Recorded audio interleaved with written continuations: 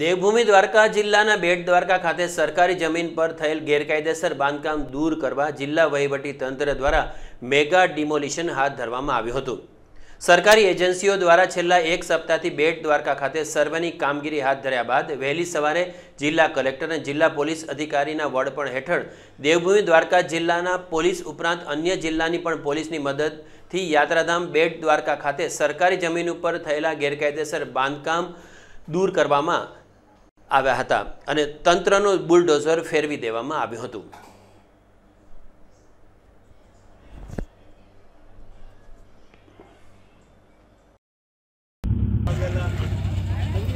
અ, ખાસ તો આ કાર્યવાહી છે બેટમાં આવેલ ઇલીગલ દબાણ દૂર કરવા માટેની છે.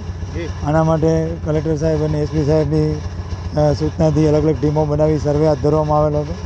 અને સર્વે પૂર્ણ કર્યા બાદ એનું આખું પ્લાનિંગ કરી અને ડિમોલિશન હાથ ધરવામાં આવનાર છે. એમાં ચેલેન્જીસમાં મુખ્ય ચેલેન્જ એ હતી કે કોઈ રોડ બેટ સુધી નથી આવતો. તો સાધન સામગ્રી પોલીસના ઇક્વિપમેન્ટ્સ પોલીસ પ્રશાસનના બધા જવાનો, તેમજ ફાયરની સુવિધા અને મેડિકલની સુવિધા બધું બોટ મારફતે અહીં પહોંચાડવું પડ્યું. એ અમારા માટે સૌથી મોટી ચેલેન્જ હતી. કેમ કે બોટ મારફતે આવું બધું લઈ આવવું હોય, તો તમારે હાઈ ટાઈટ ને લો ટાઈટના ટાઈમ જાણી અને એ મુજબ કામ કરવું પડે. એની સાથે બીજી ચેલેન્જ એ છે કે આ યાત્રાધામ છે, નાનું સ્થળ છે. તો અહીંયા બધી માળખાકીય સુવિધાઓ નથી મળતી હોતી. તો એ પણ અમારા માટે ચેલેન્જ હતી. એની સામે અહીંની પ્રજા છે એમાં લિટરસી ઓછી હોય છે. તો અમારે ખાસ વધારે બંદોબસ્ત એટલે રાખવો પડ્યો.